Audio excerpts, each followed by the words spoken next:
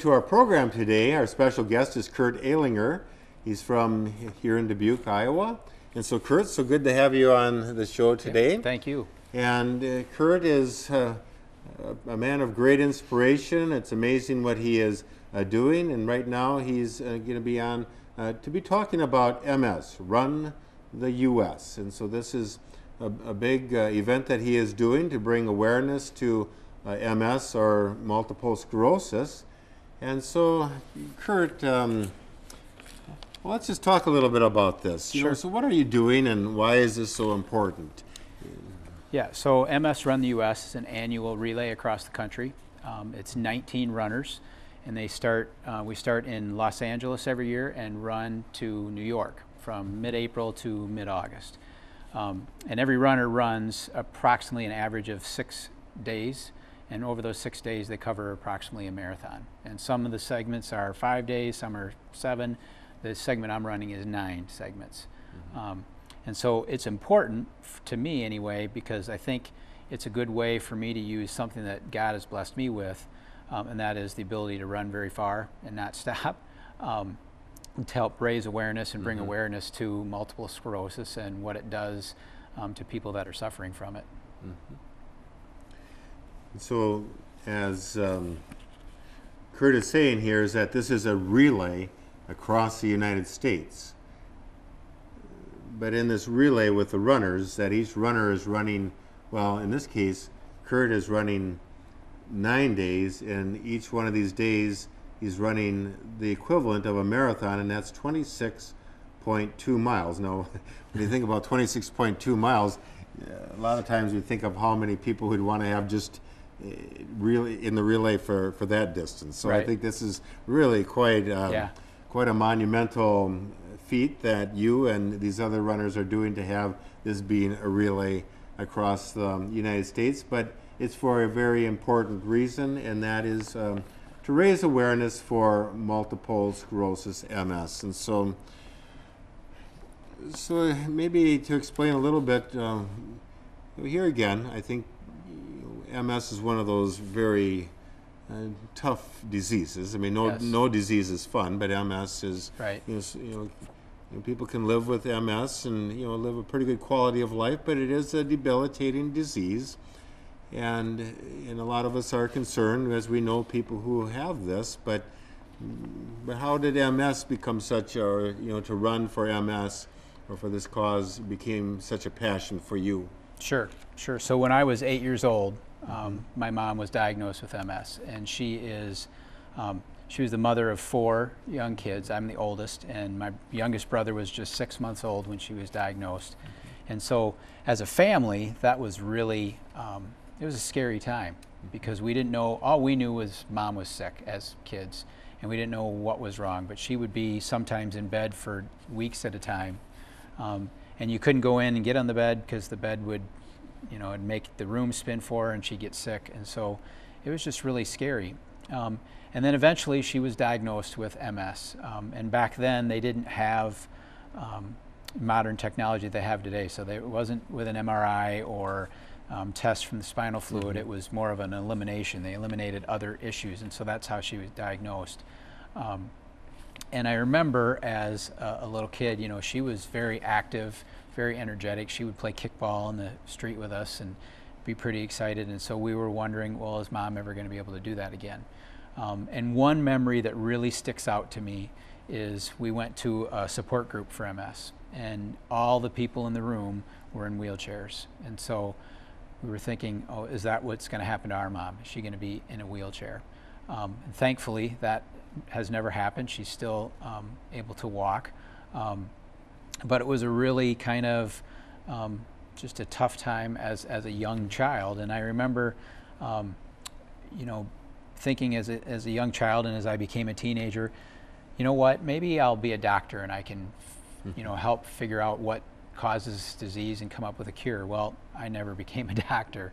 Um, and I didn't really even start this whole endurance athlete stuff until probably about nine or 10 years ago. And just learned that, um, you know, I have a gift from God to run very far and not stop. And so about four years ago, I learned about MS Run the US um, and ran for them three years ago, um, two different segments um, in, this, in that summer.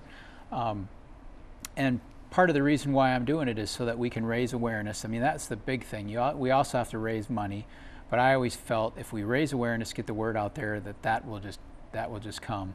And my goal is that we can someday have a day where no other little child has to hear the words your mom or dad has MS. And so that's why this is so important to me and why I'm so passionate about it. And and even outside of the running, involved with the organization itself.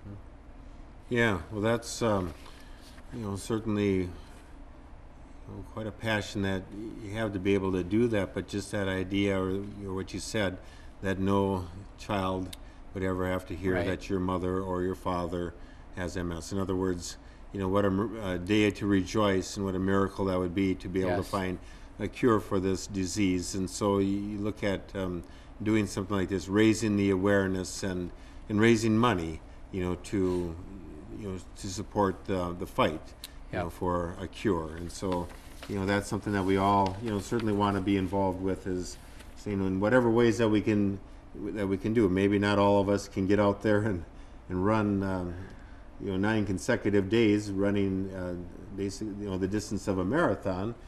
But you know, I'm sure there's all kinds of ways that we can, you know, bring awareness and you know generate support, you know, to fight uh, such an important or to be part of such an important cause to find a cure for multiple sclerosis.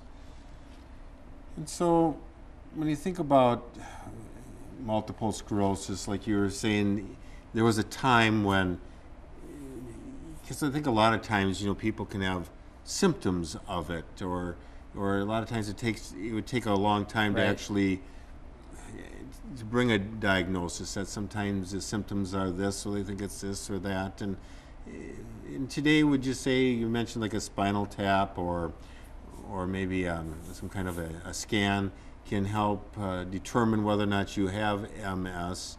You know, but that are there different kinds of forms of MS too? Then Yeah, there's or- there's actually four different kinds of MS, and I mean to back up from that uh, just a little bit, let's just talk about what MS MS actually is. So MS, multiple sclerosis, stands for many scars, um, and what that means is in our body, someone that has MS, their immune system attacks their own nervous system, and so it affects the brain, the spinal cord, and the optic nerve. And what it does is we have a protective sheath around our mm-hmm. nerve called myelin. And so it attacks, attacks that, and what it does is it basically ruins that sheath and it causes scarring. So, someone that has MS, when their brain sends a signal to their body, it hits those scarred parts of, of the, where the nerve coating has been scarred, and either that message is jumbled or it's completely lost, and so that's what causes the symptoms of MS. So, and that's why it's so broad as far and why it affects every patient so differently because it all depends on where those scars are, right? Um, so, an easy way to think about it is we all have phone chargers now, you know, that we go to f- charge our phone. And a lot of times, at least I have this happen, the end of the phone charger that goes in your phone gets all frayed and kind of ratty. And sometimes you plug it in and it charges, and other times it doesn't. And you got to wiggle it around and stuff. And so that's really what's happening to someone's nerves that has MS is that coating or that sheathing is is is torn away. So that's really what MS is. And then there's really four different forms. I can talk about three of them. Um, the, the most common is relapsing remitting MS. And what happens with that is um, a patient that has that, they'll have what they call attacks or flare ups of MS. And so what happens is that's when the body is actually being attacked and that myelin is being damaged. Um, and so they have a flare up of symptoms, or it might be, you know, right after that happens. And so they have that flare up, and then it seems like everything kind of goes away and things are okay. Now, there are residual effects from that, but um, that's kind of what happens, and it's unpredictable. So, I mean, someone that has MS, I mean, it's hard to really plan your day because you don't know. You know, you could feel fine today, wake up tomorrow, and you know your world is spinning, um, or you're having trouble walking because one of your legs doesn't want to work.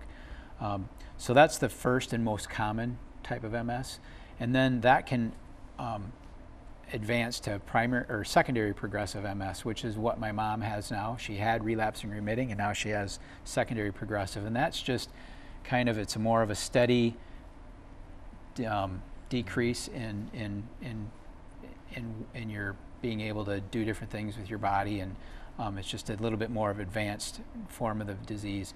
And then probably the worst is primary progressive, and what happens there is it's just an, a continual just um, degrade of of you know your body functions and so a lot of times you'll meet people that have that and they're the people that are, end up in wheelchairs and um, just really have a, a struggle with doing everyday what things that we take for granted Yeah, so it's the immune system that attacks the myelin of our nerves. Yeah. And, and so then, you know, some of the symptoms and what are some of the signs and symptoms that, that people that would kind of indicate, like you mentioned, you know, like some dizziness or spinning, and then you know, maybe a, Yeah. a weakness in a leg or noticing that a leg is Yeah. kind of dragging a little bit. Yeah, so the so the symptoms are really far ranging and they're different for every every um, patient, um, and that's they call it the snowflake disease because no two people that have MS are basically that they they don't have the exact same symptoms. Okay.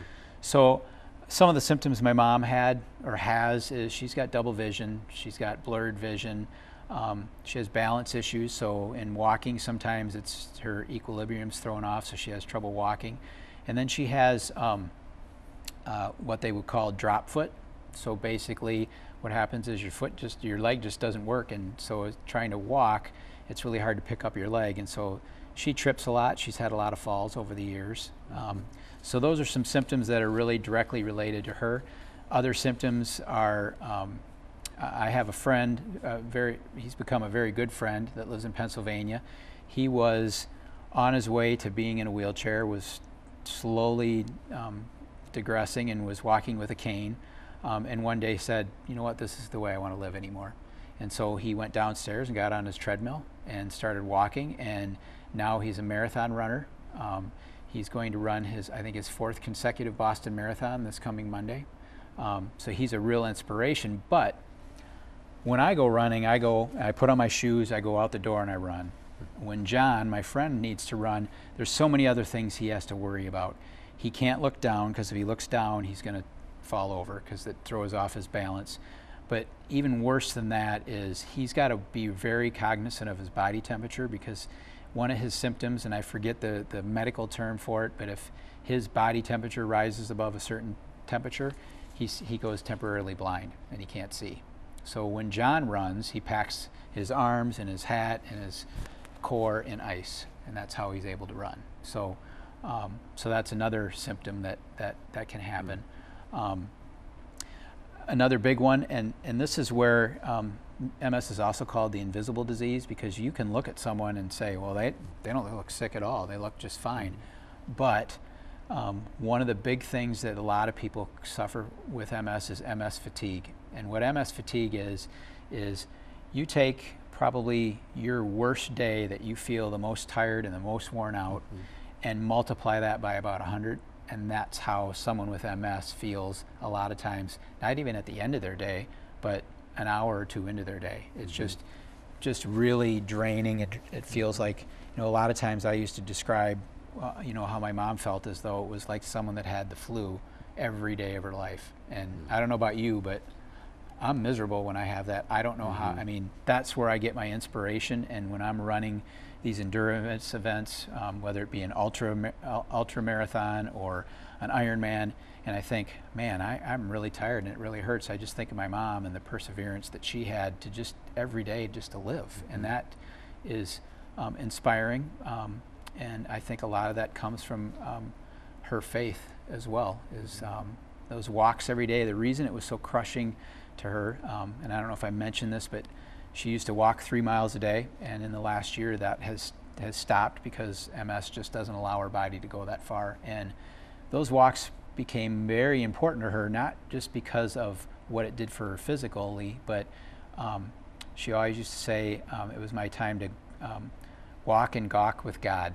And so, so that's something you know that has been stolen from her, and that's a, that was a very important part and piece of her life. And so, um, you know, uh, th- that's why I'm just so passionate about this and think that we have to figure out um, how do we how do we find a cure for this disease, or at least if we can't find a cure, how do we um, take care of the symptoms that people are suffering from so that they, they can live a, a, a more Mhm. productive and, and enriched life.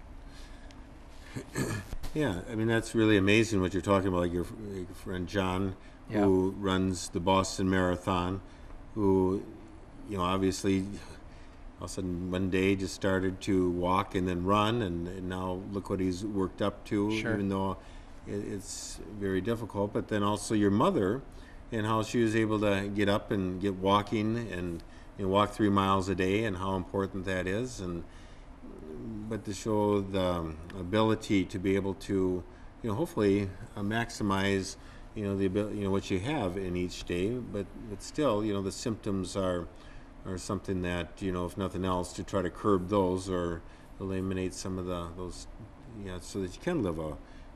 Yeah. It's amazing, you know, what what what they can do. And, Mm-hmm. and let me just expound on those three miles a day, how we got there. Mhm. Is that all right? Yeah. Um, so, when mom was diagnosed 40 years ago, um, the basically what they told you to do as an MS patient is go home, don't overexert yourself, rest, take it easy, um, and then just wait because eventually you're going to be in a wheelchair. And my father, who um, just an amazing man. I mean, he taught us so much about love, just how he um, took care of our mom and took care of us, and just, I mean, just a very selfless man.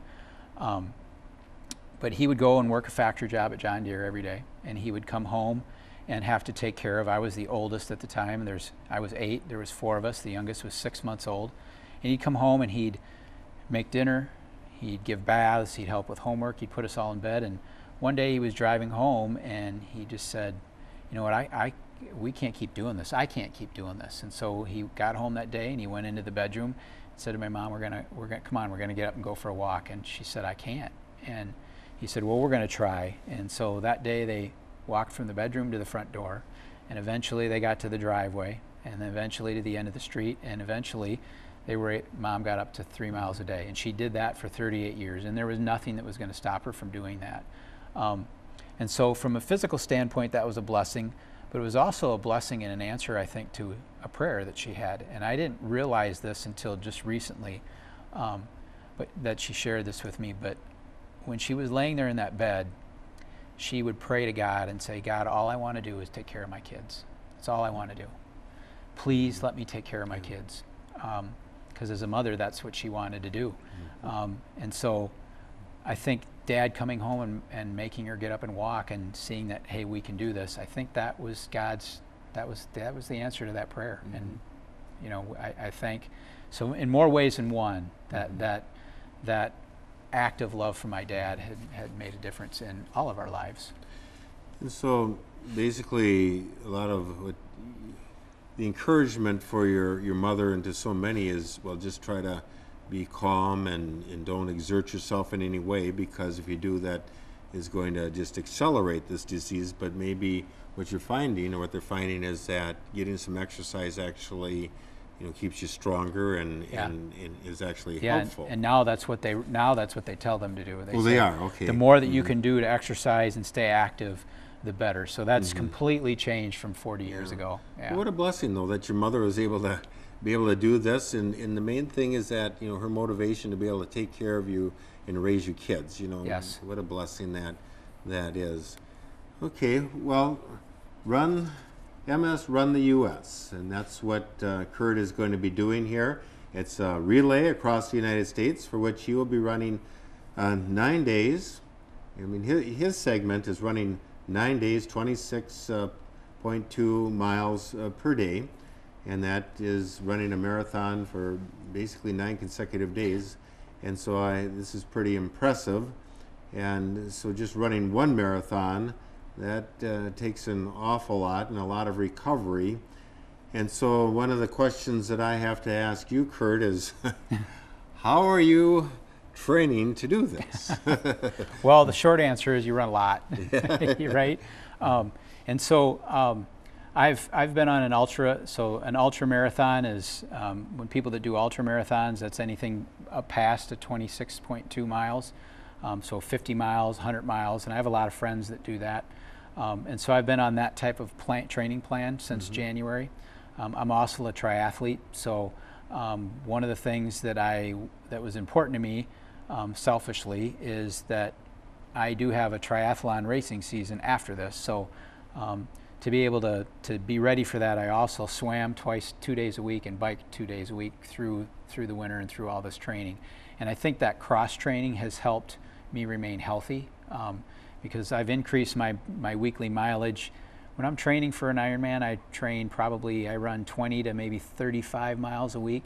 Um, and through this training, I've worked up to for the last several weeks. I've been running uh, more than 70 miles a week, and some weeks almost 90 miles a week. Mm-hmm. And so a big part of it is listening to your body. Um, and it, it, th- that's ironic that you know we're running for this cause that affects your body so much. So as runners, we really have to pay attention. And when there's something that's going on, you have to pay attention to that because if you don't, it could be end up in a, a, big problem. And so the big thing is get the miles in. Um, and then after that, make sure that you recover well. So I do a lot of things after running. Um, I roll out with a foam roller. Um, a lot of times I'll, um, as odd as this sounds, I'll use a golf ball and um, roll that underneath my feet. Um, uh, I do have some recovery boots that I that I put on um, and and and use occasionally or regularly. Um, and then the other thing is just making sure that you're getting adequate rest, which I'm not good at. I mm-hmm. mean, I mm-hmm. need to do better at that. Mm-hmm. Um, that that has uh, been my biggest obstacle. and then also just eating right. So eating clean and eating healthy um, and making sure that you're getting enough calories in because that, too often I think when people are, are um, you know, really um, taxing their body, they don't get enough nutrition and enough mm-hmm. calories. And so um, a lot of times, you know, you're eating and eating and you're like, I'm going to put on all this weight and I don't want to do that. But the reality is your, your body needs those calories. So it's just a matter of of doing all of that. And then changing your running form. I'm not running these nine days anything like I would run if I was racing a, a, marathon or racing a triathlon. I wouldn't be able to do it if I if I did that. So it's a matter of running differently, training your body to run that way, um, slow down, um, take walk breaks on a regular basis to help. That that actually aids in the recovery. Um, every day after the run because it helps reduce the buildup of lactic acid in your legs. So um, it's just a combination of all of that. Mm-hmm. So, like with your diet, is there certain uh, food groups or types of food that you eat? Like fruit, a lot of fruits, pasta. What would what, what would you say is the basis? I think your... the, the biggest thing is to eat clean. Um, and when I say clean, try to reduce the amount of um, manufactured or processed food that you eat. Um, and again, I don't do a great job of that, but I try mm-hmm. to do the best. Um, and so it's just a matter of, I mean, I, I eat a lot of lean meats, not a whole lot of red meat, um, not because I don't want to or, or dislike it. I just, it just seemed to be, I, my body reacts better if I'm not putting a lot of that in. And then a lot of, and this is tough for me, I don't particularly care for vegetables, but I eat a lot of vegetables, um, a lot of fruits, and then um, a lot of, a lot of carbohydrates that you get through good carbohydrates. Um, and then the other big thing is hydration. I mean, you can't drink enough um, water and, and get enough, um, you know, refueling after mm-hmm. your runs to make sure that you're well hydrated because that's going to that's going to, to take you down just as quick as anything else. Mm-hmm. Yeah, so that's very important to be eating right and be hydrated and and to listen to your body to to know that you know that maybe yeah. there's a time to slow down or to stop or to rest, uh, things like that. Okay, well, here again, uh, Curt is running and he's doing this to raise awareness, but also to raise uh, funds. And so we think about how, you know, how you know Curt's doing the running, but we can all you know support him. And so I'm thinking about how can people best support you um, financially. How, like if people wanted to give a donation, what's the best way to go about yeah, that? Yeah, so I have a website that people can go to and donate. It's www.tinyurl.com mm-hmm. slash endms19. So they can just go out to that. And um, in addition there, there's more additional information as far as why, why I'm doing this. There's links to my Facebook page, which also has a fundraiser uh, attached to it. Mm-hmm. Um, and then we also have, um, I have a blog that, that I've, um, that I write uh, um, would like to write more regularly on, but um, several years ago I wrote a whole bunch of stories on people living with MS, took mm-hmm. different people and wrote on there so you can learn more about the disease and how it really affects people. There's a story on there, my mom's story, and then I wrote one my story as, as kind of a reflection of, of an eight-year-old child. So there, there's those are the places that you can go to learn more and, and to support.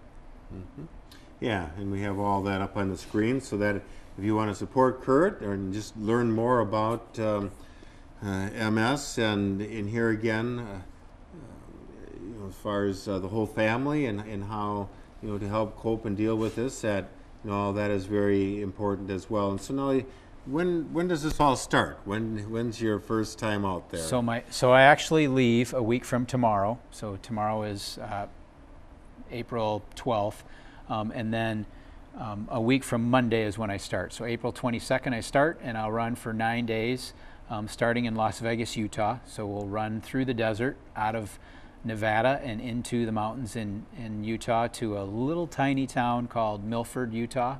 It's probably a population of, I don't know, 3,000. Um, and then that'll, so I'll start on the 22nd, Monday the 22nd, and nine days later, um, on uh, April 30th, I'll finish. yeah. So, yeah, it's going to be quite the nine days. So when I think about like running from Las Vegas into Utah, is this gonna be like desert, and then you kind of get into the mountains? Yeah. Uh, your, the terrain. I would think that it's one thing to run 26 miles, but it's another thing to run 26 miles in the heat or running up a mountain. Yeah, so it's going to be it's going to be a bit of a challenge because Mm-hmm. it's going to be in the desert. Um, there's going to be some country roads that we're going to be on Mm-hmm. unpaved, um, and I'm coming out of probably our coldest winter in several years, so I'm not used to running in the heat. So that'll be a challenge of trying to figure out how we're going to control that. Um, and then as we run up into the mountains, it's obviously going to get colder. So Mm-hmm. um, there's a lot of challenges and things that we need to do with that. And so you'll have a support team with you then.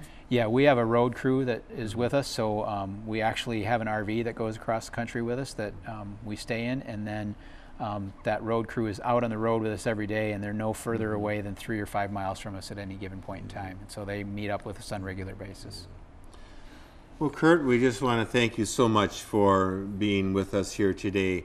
Uh, this has been very um, informative, but also very inspiring. And, you know, obviously you are an inspiration uh, to all of us. And, and as you've drawn reference, you know, just how, you know, God has been such an inspiration to you and, you know, giving you that strength to be able to, to run the race that God has set before you. And, and so um, I know that a lot of people are pulling for you, and, and I know that as you run, your mother is right there Yep. with you, as well as you know so many others who are suffering with this terrible disease. Well, thank you all for joining us this day as well.